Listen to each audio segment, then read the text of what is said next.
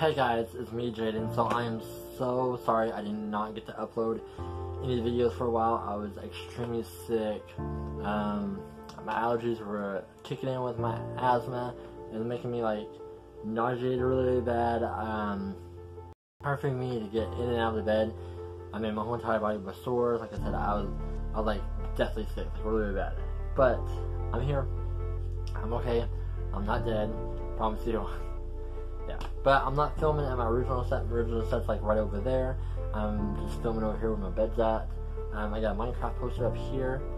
that uh, I bought at a store in Van Buren and everything uh, called uh, Turner's behind the current church. If you guys ever know it or anything. And then I got my little. Well, it's technically a window and everything, but I had a blanket over there, so. And then right over there, you can see King Henry right there. But anyways, um, enough of that and everything.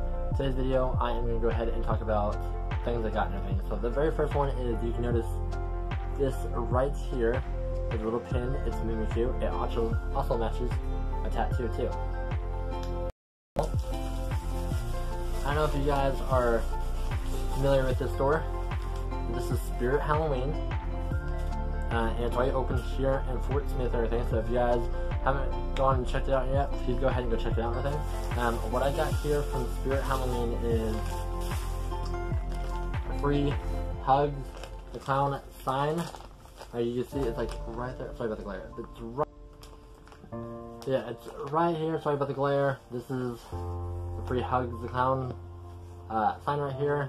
Um, you're gonna be seeing this in my set pretty soon. I cannot wait. So yeah, but um, if you guys, like I said, if you guys have not checked out Spirit Halloween, I would advise you guys go check it out and everything. So I'm just gonna go ahead and just stop it here. Sorry this video is very very short and everything, but let's go ahead and chill like a villain from Descendants 2. Hashtag Team Jaden Shadows. Hashtag Forever and Always, and I go ahead and see you guys in my next video. Bye.